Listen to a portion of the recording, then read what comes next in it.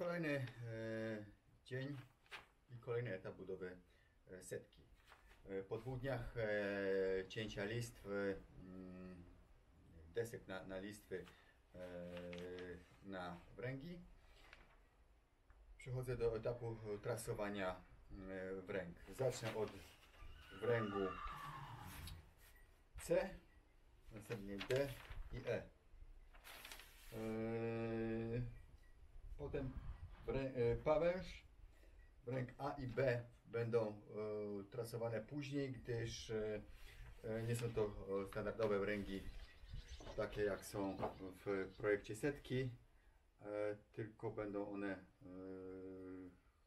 robione specjalnie, rysowane specjalnie dla mnie, tak jak cały projekt e, setki na e, trasę dookoła świata.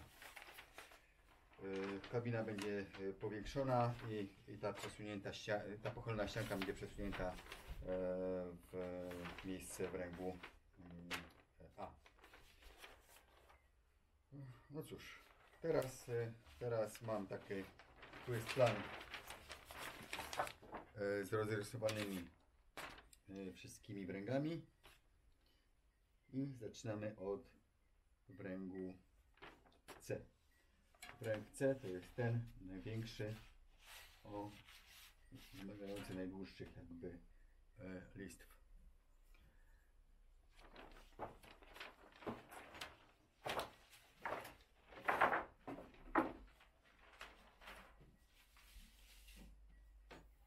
Całość jest e, tutaj e, rozrysowana w skali 1 do 10. Te kratki, które były widoczne na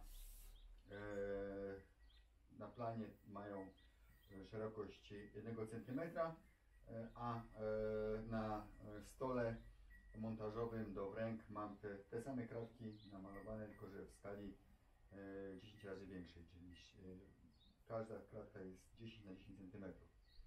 Teraz przenoszę e, wymiary z pierwszego tego wręgu C na e, stół e,